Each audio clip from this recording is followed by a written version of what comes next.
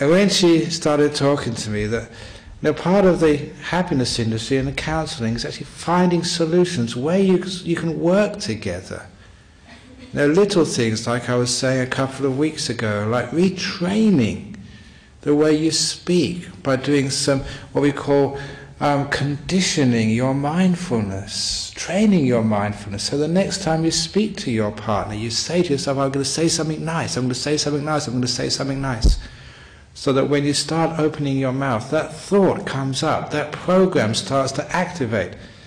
And it's incredibly how powerful that is because you condition, train your mindfulness by making resolutions when your mind is the most susceptible, which is usually when you relax, you're at peace, when everything is nice.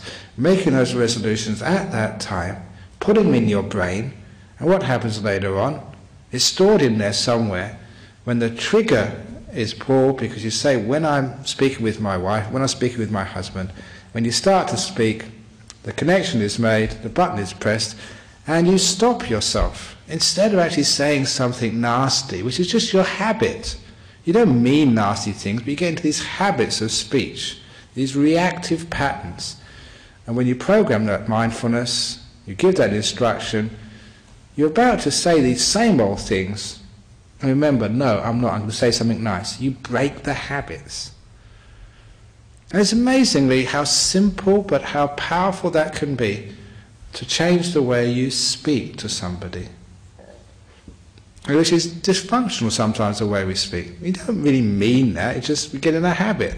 And you get these terrible conversations and arguments. You want to change, we don't know how. This is how you change. So you can teach people how to do this, and people are so happy that you give them another way of looking. Or you do teach them about you know, the similes like the two bad bricks in the wall. Instead of just looking about the two bad bricks and wanting to destroy the wall, see the whole wall. Yeah, two bad bricks in there, but they're not such a bad person. And that is actually quite true because you know, I mean, I see people, because I'm not married to either of any of you here, because I'm not related to you, I can actually be like an umpire, I can be fair and say, you're not such a bad guy, she's not a, such a bad wife. But still people don't agree with my judgment. No, he is terrible, you just don't know, you don't live with him. Yeah, you live too close to him, you can't see the real him or the real her. But of course, I try my hardest to actually to give ways of dealing with the problems of life.